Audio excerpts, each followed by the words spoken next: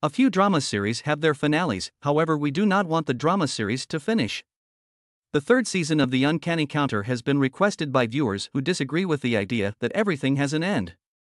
The season has come to an end, but fans still want to see more of the show, so will there be a third season or not? Will the third season ever be available to watch? In order to not miss any information regarding the show, stay watching the video as we offer all the details. Hey, subscribe and click the bell symbol before we start this together. Will the Uncanny Counter return for a third season? Uncertainty surrounds the Uncanny Counter's third season. The season 2 K drama's conclusion is so similar to the storyline of the original webtoon that it was decided to leave it incomplete. Although neither its termination nor renewal have been formally announced, there is still a clamor for a third season. When will the television series' third season be made available? Although there have been rumors about season 3, neither the release date nor a renewal have gotten an official announcement.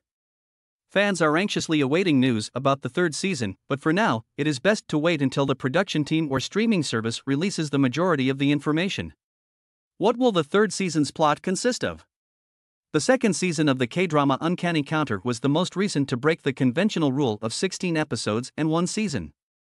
Its story is based on Amazing Rumor, an original webcomic by Young E. After the first season, the cast and crew decided that a second was required to adequately reflect the webtoon. The entire storyline was explored and defined clearly in the third season.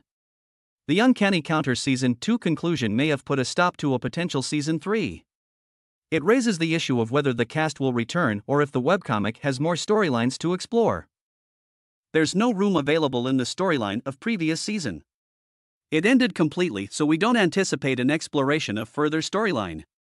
So, guys, before winding up, remember to like, subscribe, and thanks for watching.